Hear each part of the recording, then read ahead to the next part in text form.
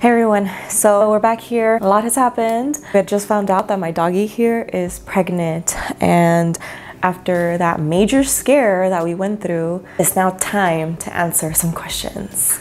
So who's the father? Okay, I think a lot of you are wondering, is it Lincoln, my Cane Corso? And actually, it's not. Now, because dogs ovulate an egg every day, there is a possibility that a dog can have multiple fathers, but because kept them separate from each other, it's a very, very, very small chance that he could father a puppy, but it's highly unlikely. Now, the real father is this handsome dude on the screen.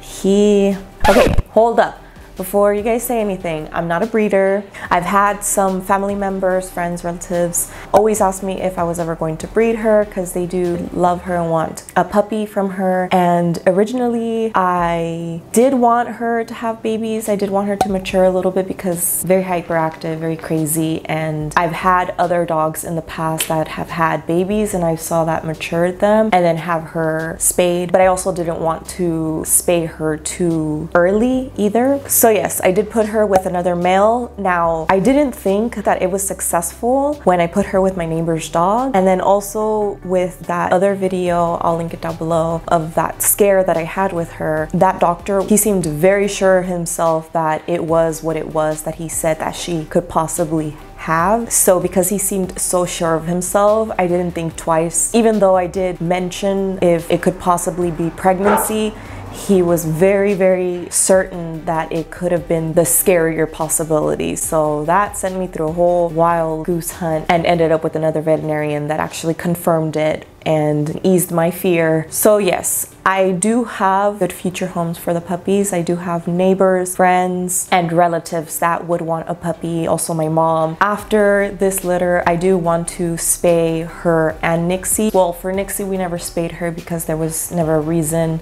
And then when we got Misty, there was still not a reason because it's two girls, two females. But then when we got Lincoln, we did take that into consideration. It was either him or them. But now as time progressed, we've come across some issues. Living in this neighborhood, we do have neighborhood strays and our fence is not, it doesn't reach all the way down to the floor, so they're able to squeeze their way under the, our fence. And every time my girls are in heat, they always come into our yard. It's kind of a nuisance. It rattles up all the dogs and they start barking and they start just, it's a whole commotion. So it's just easier just to get them both spayed. And then for Lincoln, we're still debating on that. I know for sure we're not going to do it within the next two years because I do want him to grow and mature and all of that. But there are some behaviors that I'm seeing that are kind of an issue. I'll link the future video down below on that. But yeah, so for now, this is the update on who's the father. But again, we won't know until the puppies are here. Once the puppies are here, we'll be able to tell if they all look alike, then we know it comes from one father. But if there's one that looks not